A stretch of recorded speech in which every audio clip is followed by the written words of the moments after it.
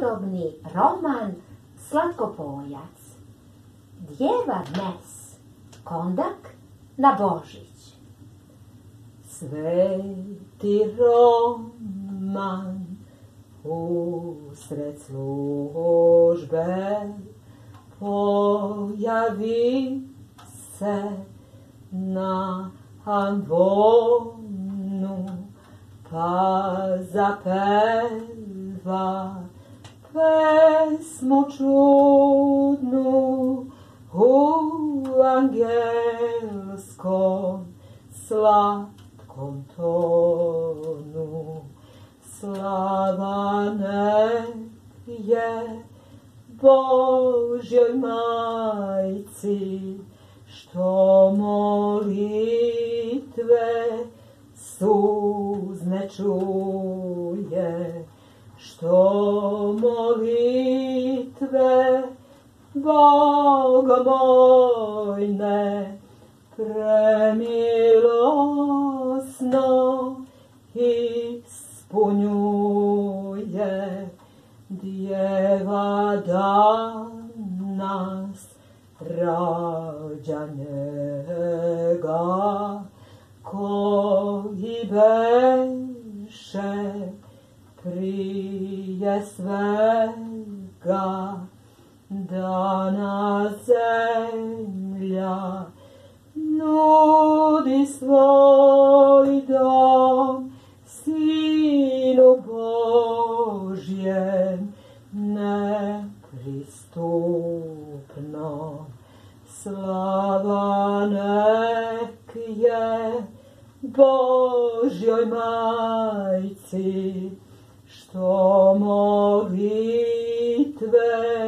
suzne čuje, što molitve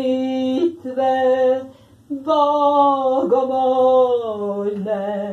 premilosno ispunjuje. A mudraci tragom zvezde u posetu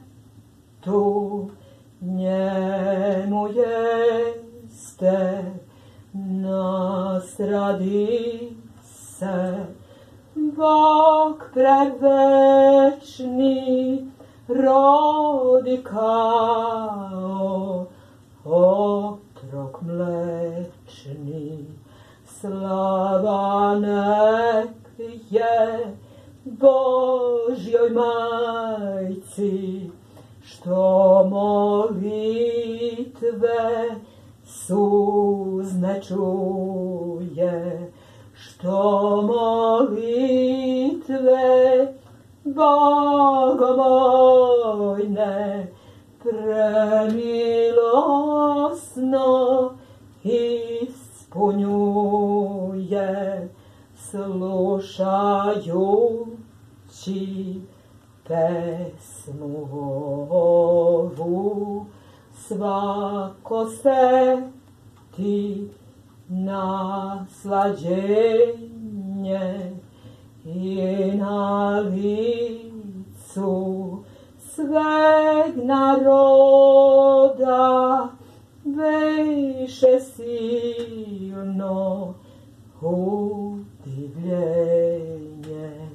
Slava nek je Božjoj majci, što molitve